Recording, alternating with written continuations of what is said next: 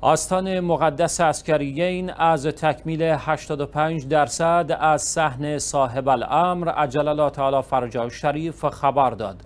استاد احمد داوود سلمان رئیس بخش نگهداری و مهندسی این آستان گفت به دستور مستقیم ستار ار مرشدی تولد تولیت آستان مقدس امامین عسکریین علیهم السلام اقداماتی برای تسهیل در تردد زائران در حرم متحر صورت گرفته و ادامه دارد. به گفته وی این اقدامات در چارچوب برنامه های توسعه این آستان مقدس تهیه شده و توسعه صاحب الامر عجل الله تعالی فرجه شریف از جمله این برنامه هاست سلمان افزود کارکنان بخش تعمیر و نگهداری بیش از 85 درصد از این صحنه شمالی به مساحت 7300 متر مربع را به همراه ملحقات آن تشکیل کرده است.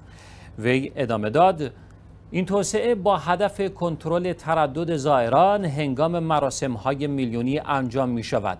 مرحله اول این کار شامل سنگ فرش کردن و ساخت بوستان، ایجاد حوز، فواره، آب آشامیدنی و بهداشتی و مرحله دوم شامل نصب صندلی، سایبان برای جلوگیری از تابش نور خورشید، منابع روشنایی و سایر کارهای تکمیلی است.